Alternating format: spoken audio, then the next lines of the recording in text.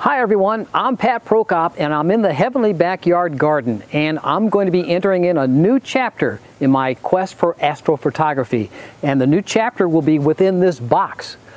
Welcome to Heavenly Backyard Astronomy.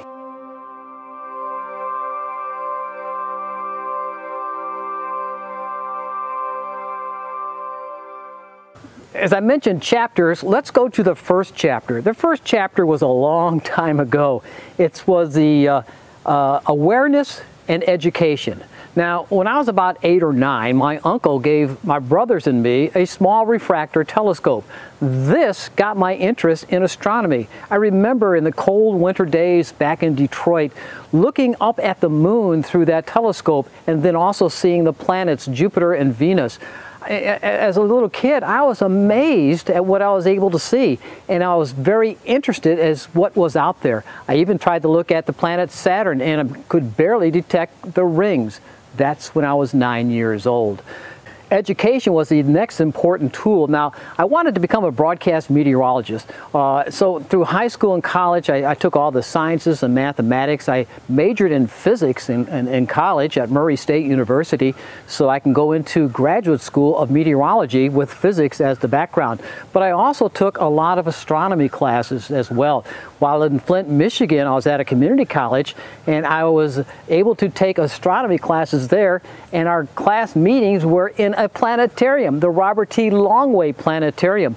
Within there, I, I took uh, solar uh, astronomy, studying the planets, and then the uh, stellar astronomy, studying the stars and the universe around. And then beyond that, at Murray State University, I took astrophysics and also astrophotography. Back then, we used film.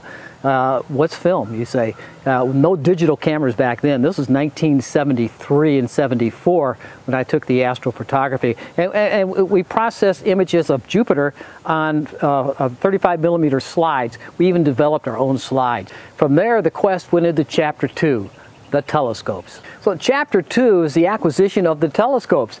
My first telescope uh, wasn't until 2014. Of course, I had the one in 1957 or so, 58 when I was a kid. But in 2014, I bought my first telescope. That was this, this Celestron 6-inch SE NexStar. And with that, I started to take my first venture into astrophotography.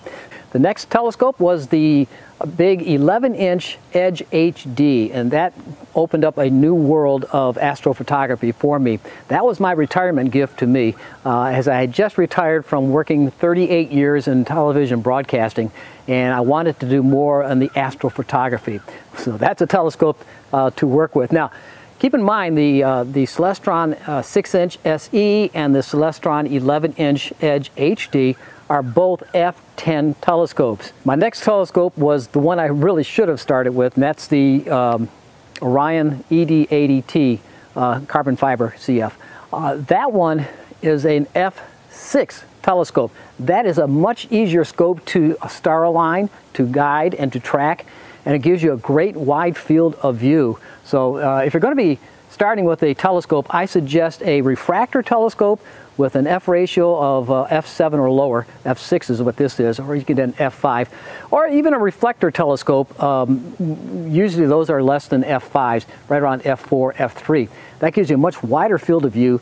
It's a lot easier to track and star align with those telescopes. And then after that, I acquired the, uh, the astrograph, the Maksutov Newtonian 190 millimeter astrograph telescope, and that was an f5.2, well that is, an f5.2 telescope, and that also gives me some great images. Uh, but still, I like this glass telescope here, the ED80. It's a wonderful telescope at that.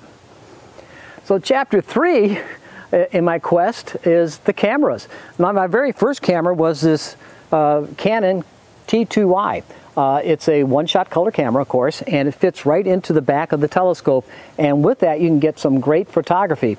Uh, then I graduated. I wanted to get a, um, a, a, dedicated astrophotography camera, and I ended up buying the Altair Hypercam 183C.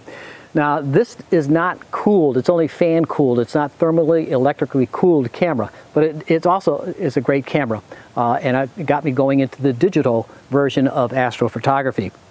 Then After that, I got another Canon. That was the Canon T7i, but I had that one modded, meaning that I had it uh, modified uh, so that it'd be more sensitive to the infrared and the red uh, lights of the heavens, particularly for the nebulae. Um, the uh, uh, red colors show up vividly, more vividly with the modded type camera. I had that done by Hap Griffin up in South Carolina. And then I graduated to the Hypercam 294C, which is currently on the um, Orion ED80, and that is a Pro Tech. Uh, the Tech meaning TEC, thermally electric cooled and from there I can cool down the chip temperature to a, a, much colder temperature and in the hot humid summers here in Savannah you certainly need that because the noise level as the warmer the chip temperature is the more noise is generated inside the camera. This cools it down and you get a much better and cleaner picture from that. Also in chapter three with the cameras involves steep learning curves. And not only the cameras, but the tracking mounts themselves. I, the uh, the uh, CGEM, the Celestron German equatorial mount that came with the Celestron 11 inch HD. And then I also bought a smaller uh, AVX mount, which I use mostly for the uh, uh, ED80. Uh, but I, now I have this on the CGEM mount. And then I acquired the um, Celestron CGX mount, which has a heavier payload capacity. And as I was adding more and more equipment to my Edge HD telescope, the 11 inch, it started to gain more and more weight. And I needed a little bit stronger um, mount to help guide and track the heavens with, with the, uh, all the extra weight on the scope itself.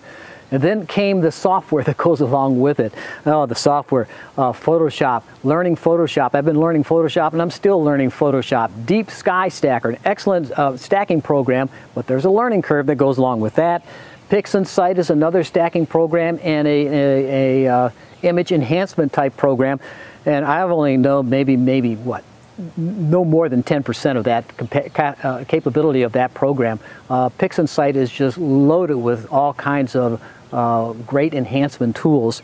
Um, for the, um, uh, the uh, Canon, or also if you use a Nikon, uh, there's a great piece of software called Backyard EOS, and it is wonderful for using the, um, the Canon cameras for your astrophotography. You have SharpCap Pro, which is excellent for planetary. It's also very good for uh, deep space objects as well. And then now comes NINA, Nighttime Imaging in Astronomy.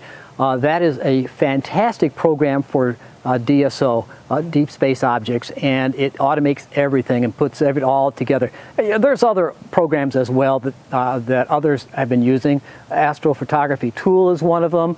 Uh, Sequence Generator Pro is another one. Those are all very similar to what Nina is doing as well. That is chapter three. Chapter four is about to begin. Going into chapter four, before I bought the final piece of equipment that needed that I needed for this, I had to get uh, some a, a additional uh, accessories to work the uh, the system. And to give you a clue, uh, I had to uh, acquire these filters: a blue filter, a green filter, and a red filter. And then a filter wheel to hold those filters so that I can change them uh, and this is the filter wheel itself and the camera will attach right into here and then you can change the filters to whatever color you want or whatever type of filter you want such as a uh, uh, IR UV cut filter or a luminance filter. Then I also bought another filter, uh, automatic filter changer uh, for uh, broadband. So I can use H alpha, oxygen 3 and sulfur 2 type filters with this. So What's in the box? That's the next question. This is chapter four. Can you already figure out what it is? Well, yeah, it, I, guess, I bet you do. I bet you know it. So here is the box right here from High Point Scientific.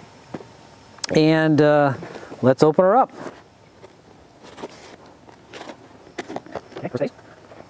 And uh, okay, this is a key ring. Can you see it? In the shape of a camera. Interesting. We got some paper in here, packing paper, and a box. And look what's in the box. It is the AS, the ZWO ASI 1600 mm ProTech camera. This is chapter four. I'm going into broadband astronomy. So let's open up the box, see what's inside. And of course you got your USB um, 2 connector cable and a USB 2 connector cable. There's two of them. And then the USB 3 connector cable. Um, you have a 2 inch to uh, 1 and a quarter inch adapter. Of course you have the 2 inch adapter. What else you have in here? Uh, a ring for an adapter. More adapter rings for certain fittings. And uh, here we go. The camera's right here in this little carrying case.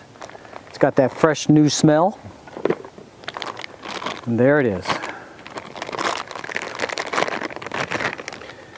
The ZWO ASI 1600 mm monochrome ProTech camera.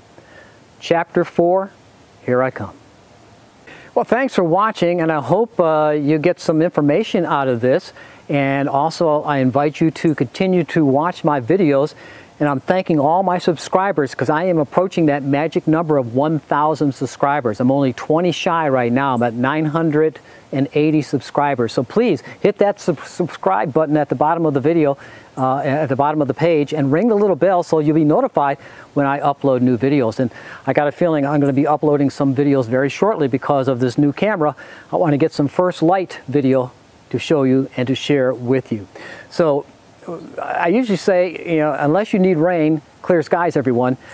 We just had a rain. I had to wait an hour and a half to start filming this video because the rain wouldn't stop. Uh, but it's extremely humid out here right now. So at the moment, I don't need rain. But if you do need rain, you know, that's good. Uh, but if you don't need rain, clear skies, everyone.